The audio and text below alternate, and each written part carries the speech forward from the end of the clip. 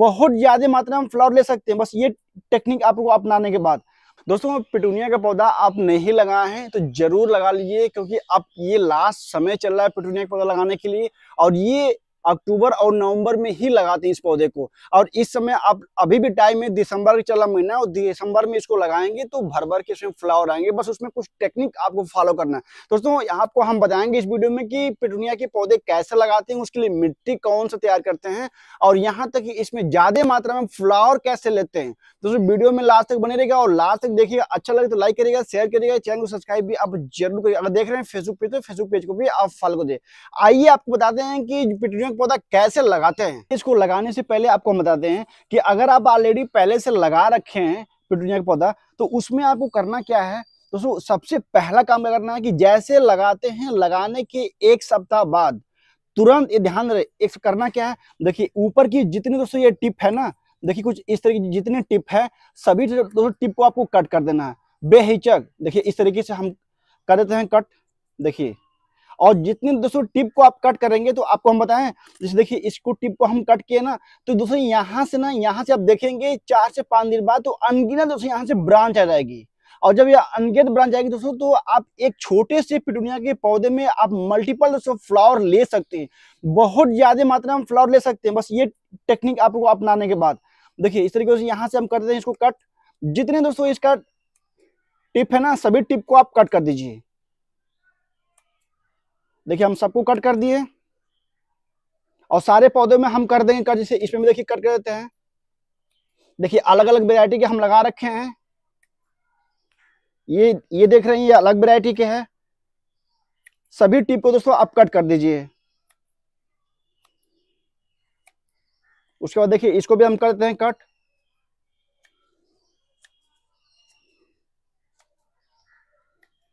देखिए, सभी टिप को हम एक कट कर दिए। अब कट करने के बाद तुरंत काम क्या करना आपको कि लेना एक लीटर पानी।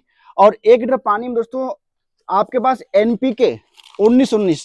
दोस्तों, इस टाइम पे ये एनपीके उन्नीस उन्नीस, ये इसमें बहुत ही बेहतरीन काम करेगा। अगर रखे होंगे तो ज़रूर इसको यूज़ कर लीजिएगा। दोस्तों, एक लीटर पानी में दो से तीन ग्राम इसको यूज़ करते हैं, ज़्यादा मात्रा में यूज़ नहीं करते हैं। और इसको घोलिए और घोलने के बाद इसको दे दीजिए। ये पानी में।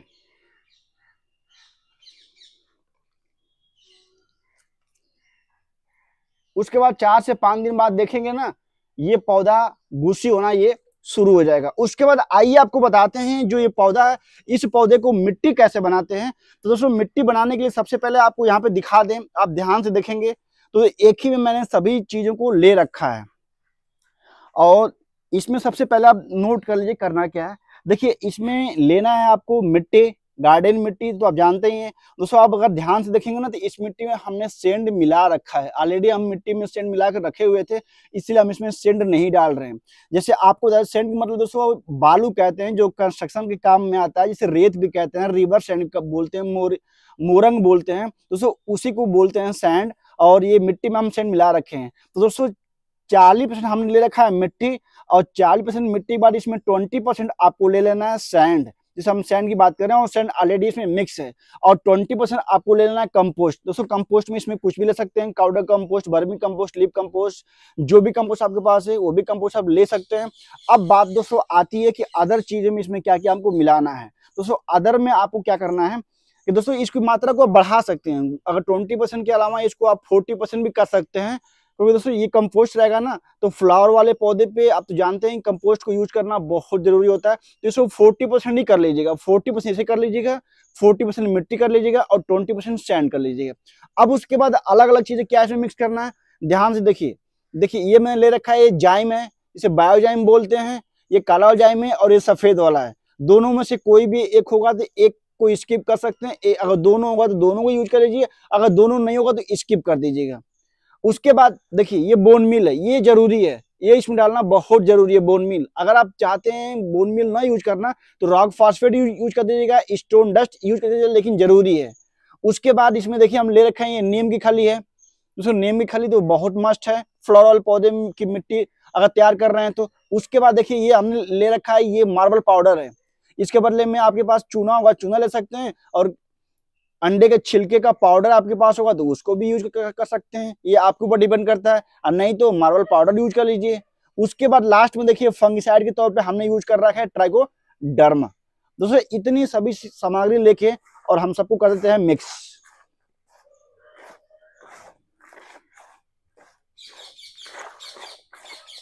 देखिए मिक्स कर दीजिए और ये मिट्टी बन के ये मेरा हो गया तैयार। अब मैं बताऊँ कि जो ये है ना, इसके लिए, इसको आठ इंच गमला इसे पर्याप्त है या दस इंच लेंगे तो भी चलेगा। और चाहे तो आप इसे हैंगिंग बास्केट में भी लगा सकते हैं। उसमें भी बहुत ही बेहतरीन दोस्तों फ्लावर आते हैं। तो दोस्तों, हम इसमें पॉट में लगा रहे हैं और पॉट की अगर हम बात करें ना तो इसे आपको हम दिखा दें। जैसे आप ध्यान से देखिए देखिए, ये दस इंच का पॉट है। और एक इसमें चीज़ आपको लेना है, वो होता कि जैसे ये जो ऊपर वाला भाग है ना ऊपर वाला भाग जब ये फैला रहता है ना तो दोस्तों खास तो जब जब ये देख रहे हैं, जब ये पिटूनिया का पौधा है ना तो जैसे दोस्तों जब इसमें लीफ आएँगे ना तो ये अगल बगल दोस्तों ये फैलेंगे। और सर जितना जब ये फैलेंगे तो उतना इसमें फ्लावर आएगा। तो इसी तरीके से जो ऊपर का जो भाग होता है, ये चौड़ा रहेगा, फैला हुआ रहेगा तो ये बढ़िया रहेगा। ये पिटूनिया के खास तौर से पौधे की हम बात कर रहे हैं। अब देखिए ये दस इंच का है, इसमें हम नीचे ये ये लगा रखे हैं। और इसमें नीचे लगाने के बाद इसमें मिट्टी हम भर देते हैं। देखिए, मिट्टी को हम इसमें आधा भर दिए और आधा इसमें इसको डालते हैं। एक बात आपको बता दें कि जब पेटूनिया का पौधा आप नर्सरी से लेके आते हैं तो उसमें क्या होता है कि कभी कभी दोस्तों ये जो मिट्टी देख रहे हैं ना, वो लोग लाल मिट्टी में पौधे तैयार करते हैं। और दोस्तों, लाल मिट्टी बहुत कड़क होती है आपको ध्यान देना है। लाल मिट्टी में अगर पौधे तैयार कर रखे हैं तो करना क्या दोस्तों कि आप प्लास्टिक को रिमूव करिएगा और प्लास्टिक को रिमूव करने के बाद एक काम आपको ध्यान दीजिएगा कि इसमें से कुछ मिट्टी को आप हल्के हल्के हाथों से आपको निकाल लेना है ताकि रूट डिस्टर्ब ना हो पाए।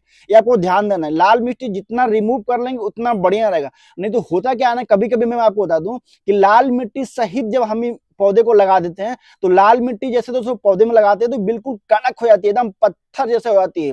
और ये रूट ना रूट निकल नहीं पाता, पौधा मर जाता है। तो हमें लगता है कि कैसे पौधा मर गया, हम इसके बारे में समझ नहीं पाते ये बहुत ही तो समझने वाली बात है तो अगर लाल मिट्टी है तो उसको रिमूव कर दीजिए, हल्का जितना हो सके उतना रिमूव कर दीजिए। और देखिए, ये लाल मिट्टी नहीं है तो इसको हम इसमें ये लगा देते हैं। और लगाने के बाद जो मिट्टी है, मिट्टी को हम ये ये चारों तरफ़ से ये डाल देते हैं।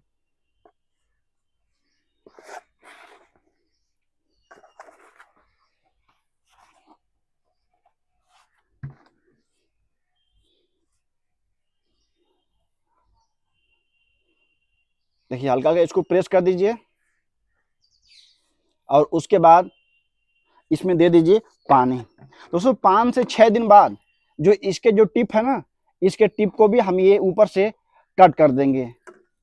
और उसके बाद देखेंगे, ये फैलना, ये ये शुरू हो जाएगा। दोस्तों, अगर वीडियो अच्छा लगा हुआ तो प्लीज़ वीडियो को लाइक करेगा शेयर करेगा चैनल को सब्सक्राइब आप ज़रूर कर दें। मिलते हैं आपसे न्यू वीडियो न्यू टॉपिक के साथ। धन्यवाद